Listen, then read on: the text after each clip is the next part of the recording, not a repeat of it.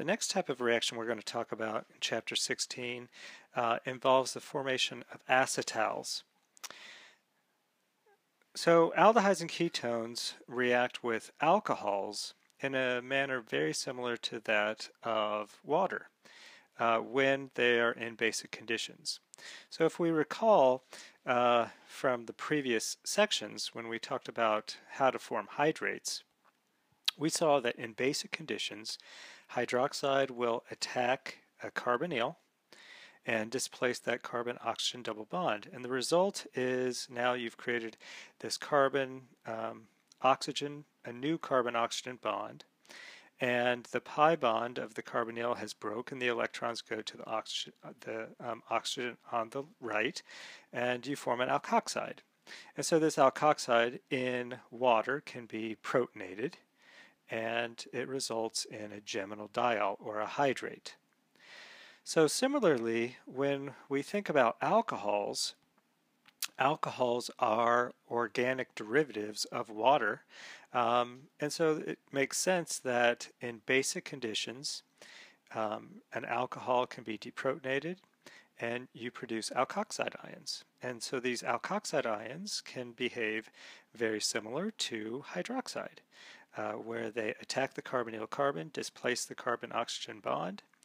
Uh, again, you form a new alkoxide. This time you have created a new carbon um, oxygen sigma bond, uh, but the oxygen has some alkyl group attached to it instead of a hydrogen attached to it. And this can then be um, protonated by the alcohol instead of water. It can be protonated by the alcohol, and the result is this structure right here where so instead of having two OH groups attached to the carbon you have an OH and an OR attached to the carbon so you're forming an, an ether um, functional group and an alcohol functional group on the same carbon. Notice we regenerate our alkoxide as well. Now when alcohol and an alkoxide are on the same carbon this type of functional group is called a hemiacetal. So, like hydration, most hemiacetals are actually hard to isolate due to um, equilibria. Uh, recall we talked about equilibrium of hydration products and we saw that that equilibrium um, is largely influenced by the uh, substituents on the carbon so too is it with hemiacetals. And so they tend to, um, once you try to isolate them, they try they, they tend to revert back to the carbonyl and the alcohols. Uh, there is an exception, and you see that comma, so something else is coming up. And that exception is cyclic hemiacetals. Now, how do cyclic hemiacetals form? Well, if you think about it, whenever you have an aldehyde or a ketone, and on the same molecule there is an alcohol present, you can undergo an intramolecular cyclization or an intramolecular uh, hemiacetal formation. Uh, this can be done in pretty much any solvent, but uh, it can be done even in water, right? When you essentially dissolve the um, aldehyde, the um, the molecule that contains an aldehyde and an alcohol um, in water, the alcohol will attack the aldehyde and form a ring structure. And so depending on how many carbons that is, you see that it cyclizes and forms a hemiacetal where you have a COH and a COR attached on the same carbon. And you see this a lot in nature, um, sugars actually do this. Sugars are carbohydrates that contain um, carbonyls. They also contain a lot of alcohol functional groups, and those alcohols will react with the carbonyl in aqueous um, solutions, and they will cyclize on themselves. And these are called cyclic hemiacetals. So let's look at an example. Here I have uh, an aldehyde and then on the one, two, three, fourth carbon, um, at the end of the chain, I have an alcohol coming off of it. So when it places in water, you essentially get um, free rotation about the molecule, that alcohol can attack the carbonyl and you form a ring. And in this particular case, it's a five-membered ring, right? Because you have four carbons plus the oxygen, and so you form this ether linkage uh, that contains a five-membered ring. And because of that, you know, five-membered ring, we see that five and six-membered rings are fairly easy to form intramolecularly, and and so it encourages the reaction to take place. And of course I can do this um, extending the chain by one carbon. So now I have five carbons. I have an alcohol at the end. I have an aldehyde. I dissolve this in water and it's going to cyclize to give me this particular hemiacetal. Again, recognize what a hemiacetal is. That carbon has an ether linkage and it has an OH linkage to it. Right? So whenever you see a carbon that has an ether and an OH, that is called a hemiacetal. And hemiacetals are reversible, so you can get back the um, aldehyde and the alcohol. Now, in acidic conditions, we talked about basic conditions, but in acidic conditions, nucleophilic addition doesn't stop at the hemiacetal. It goes one step further. So let's take a look at um, the mechanism of this reaction. In acidic conditions, now if, if we're um, if we're introducing the carbonyl to alcohol in acidic conditions, we don't have alcohol. We have, well, we do have alcohol present, um, but we also have the alkyl oxonium ion, H2OR+. And that alkyl oxonium ion now is an electrophile. So the carbonyl is behaving like a nucleophile. We see that the oxygen lone pair of electrons are going to get protonated right from the um, acid, that uh, alkyl oxonium ion. And you generate this, right, where the oxygen now has a positive charge, but we know that there's resonance uh, where the carbon can, that the pi electrons basically can be donated onto the oxygen. The carbon is the electrophile, right? So now I have an alcohol plus our protonated carbonyl. That alcohol will attack the carbonyl carbon, displacing the carbon-oxygen double bond. The result is um, this species, right? So notice we're very close to what looks like a hemiacetal. The carbon has an OH and it has an OR, but the OR is protonated, and so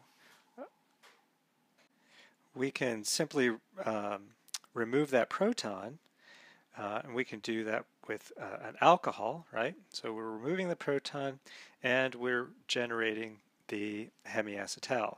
Notice we're also regenerating um, the alkyl oxonium ion in the process, and this is important, right? We get our hemiacetal, uh, and we're regenerating the acid. And in acidic conditions, um, that OH group can be protonated. And this is the key, right? Because uh, if it gets protonated, you see that now I have water, and that water can easily come off. So I've created a good leaving group, um, and so water comes off. When water comes off, I generate a carbocation, and this carbocation can be stabilized through resonance. I can donate a pair of electrons from the oxygen into the um, carbon and I generate a new resonance structure, right, where the positive charge is on the oxygen. And uh, we see that this is the major resonance contributor uh, between those two resonance structures. Now, again, you see that there's similarities between this structure and that of a protonated carbonyl. And what happens? Well, an alcohol can um, behave as a nucleophile. So we've increased the electrophilicity of that carbonyl, um, and so an alcohol can then attack the carbon, displace that carbon-oxygen bond. Now the oxygen is neutral, uh, but um, the oxygen on the right has a positive charge. Um, all we have to do now is deprotonate that oxygen, and we can do so with another uh, um, uh, alcohol molecule. And the result is this. So instead of having an OH and an OR, we have two ether functional groups on the uh, on the geminal carbon. So on the same carbon, we're generating two um, ether functional groups. This is called an acetal. So uh, acetals are very prevalent in both nature and in organic synthesis. So you have to be able uh, to recognize acetals, you have to be able to recognize hemiacetals as well. And the reason for this is, we're going to find out later, uh, is that uh, they can be used um, in terms of organic synthesis as um, uh, as protecting groups of carbonyls. Think about what we've generated here. We've generated two um, ether functional groups. And ether functional groups are fairly stable, especially in basic conditions. So carbonyl is unstable in basic conditions. It normally, um, the whatever the base is, is going to attack the carbonyl. Um, but we can convert it to an acetal and the cool thing is the acetals are reversible. In acidic conditions, they are reversible. So the one thing that, that we have to be able to do is we have to be able to recognize acetals and we have to be able to draw the corresponding aldehyde or ketone from the acetal or from the hemiacetal uh, that's given to us. So let's see if we can do this. Let's draw the carbonyl and alcohols that are used to make the following acetal. So here I have this nice ring structure, right? And um, you might go, oh my gosh, what, what is this? How do I um, how do I even go about doing something like this? Well, if you follow a few steps, I hope it kind of makes it a little bit easier for you to to kind of work work on. And of course, we're going to um, do you know look at some examples uh, in just a little bit. So the first thing that you have to be able to do is you have to find the acetal. Um, when you're first uh, looking at these problems, uh, it, it's not going to be as easy um, as you might think. Um, but hopefully I can help you out. The key to finding the acetal is to look for the carbon with two oxygens connected to it, right? Because acetals are diethers. And so you have to find the carbon that has two oxygens connected to it. And we see it's this carbon right here, right? You see that carbon has an oxygen on the left and an oxygen on the right hand side. Okay, so the next step is that we're going to break those carbon-oxygen bonds and only those carbon-oxygen bonds.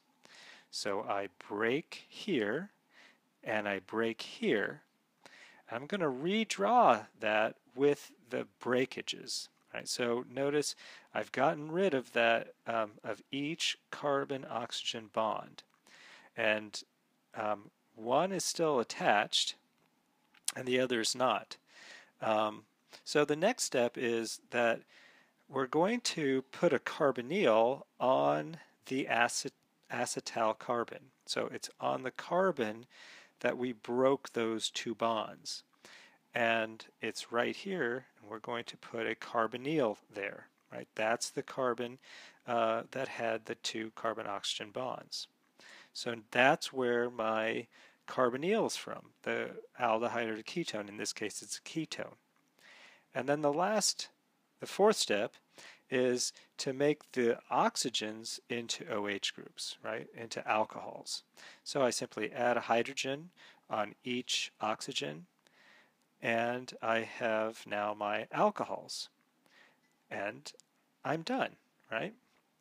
So I see that the acetal above is from a ketone that has an alcohol attached to it intramolecularly, and also um, ethanol has come off of it, right? So I can make that ketone, the acetal, from an intramolecular um, uh, hemiacetal formation and then react that with ethanol and I get that following acetal.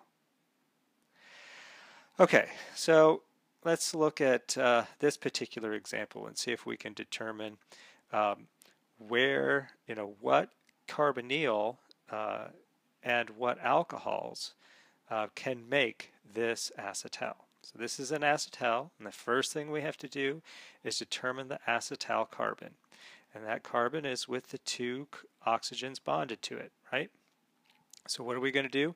We're going to break those two oxygen carbon bonds. We're going to um, put a carbonyl on that carbon and we're going to put hydrogens on the oxygens.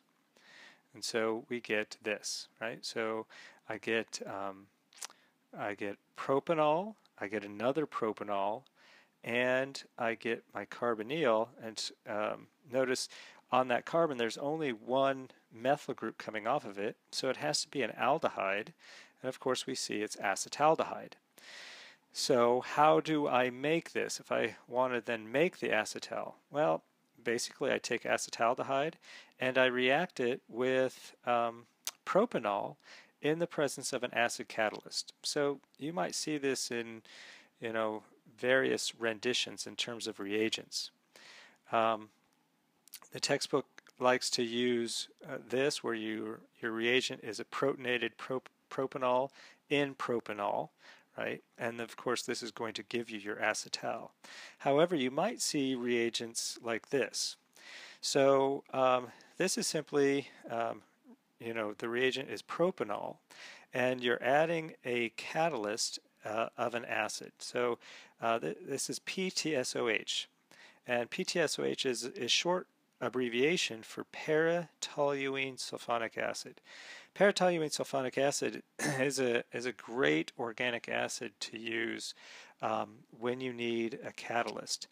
Um, and the reason for this is, is because it's a solid and so you can add just a little bit to it of it to your reaction and it works very well. And the structure of para-toluene sulfonic acid uh, looks like this. It's a toluene derivative of a sulfonic acid um, SO3 SO3H, right? So um, uh, we can make these from um, uh, dehydrating, well, taking a carbonyl, treating it with sodium bisulfite, and then dehydrating um, the alcohol uh, from that. So uh, fairly easy to make sulfonic acid derivatives, and we'll see them time and time again.